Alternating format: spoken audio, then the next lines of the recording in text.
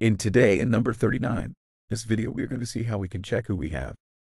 Blocked on Facebook, it is very simple and we are going to see it step by step. First of all, we open the application. This applies to both iPhone and Android. And then, for example, if I go to this profile and I block it, by clicking on the three dots here, by clicking on block and again and now, I do want to check the entire list of people who have been blocked by.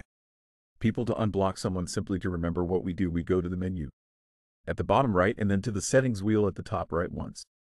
We are in the settings and privacy of our account. We are going to go down to the block part is station. We click on it and the list of people we have blocked appears as you see here. We can directly add more people to the list or we can unblock anyone by simply clicking on the right thing. You very much for watching this video and see you in the next one.